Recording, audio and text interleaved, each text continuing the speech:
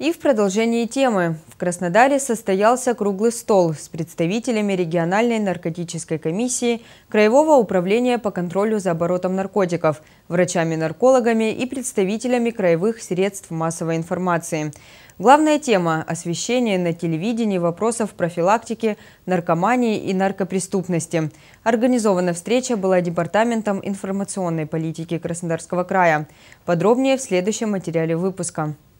Встреча проходила в Краевом наркологическом диспансере. Журналистам рассказали о наркологической обстановке на Кубани. По словам главного внештатного нарколога Министерства здравоохранения Краснодарского края, по сравнению с прошлым десятилетием ситуацию удалось улучшить. Более пяти лет на Кубани отмечается снижение показателей первичной заболеваемости и распространенности наркомании. С 2012 года первичная заболеваемость снизилась почти в 1,8 раза, а распространенность в два раза. Все это стало возможным благодаря комплексному к решению данной проблемы. Сейчас правовое поле э, у нас э, настроено так, что э, употреблять нельзя. И я хочу сказать, что все вместе с коллегами, вместе с вами, да, ситуация была развернута. Достаточно жесткие законы, эффективные меры, которые принимаются правоохранительными органами. Очень грамотная координация всех субъектов профилактики на уровне именно межведомственного взаимодействия. Это все дало свои результаты.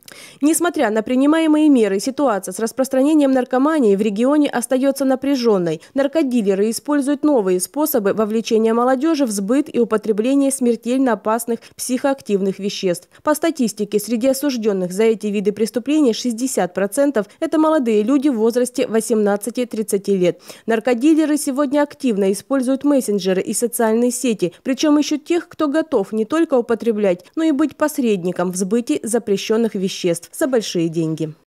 Есть обращение граждан, и немало, особенно крупных городов, по поводу вовлечения молодежи в незаконный оборот наркотиков. И мы понимаем, что те же самые студенты, которые в поисках работы находящиеся, да, когда человеку приходит такое сообщение, что 30-40 тысяч в неделю да, заработка, конечно, великое искушение. И поэтому мы, в общем-то, понимаем, что э, если мы каким-то образом не прекратим, э, не создадим определенное поле вокруг этого, то вовлечение будет более еще активным. Задача журналистов, по словам представителя Департамента информационной политики края, регулярно и всесторонне освещать данную тему, грамотно и профессионально подходить к подготовке видеоматериалов. В рамках круглого стола представителям телекомпании была предоставлена возможность познакомиться с работой отделений краевого наркодиспансера. Журналистам показали самую оснащенную на юге России химико-токсилогическую лабораторию, оборудованную газовыми хроматографами, которые за 20 минут могут выявить, употреблял ли человек наркотические вещества или нет. Точность исследований свыше 99%. Идентификация в биологическом материале происходит путем сравнения с базами данных. И базы данных – это библиотеки наркотических средств и всех иных веществ, которые, в принципе, можно вообще идентифицировать. А, база где-то порядка 300 тысяч веществ, а, всех, которые могут быть, их метаболитов. Специалистами лаборатории за год проводится до 70 тысяч исследований на наличие наркотических средств и алкоголя. Что касается последнего, то в другой лаборатории, диагностической, из биоматериала выделяют так называемый маркер хронического алкоголизма. Даже однократное употребление спиртного вызывает изменения в работе клеток. Регулярное приводит к необратимым последствиям.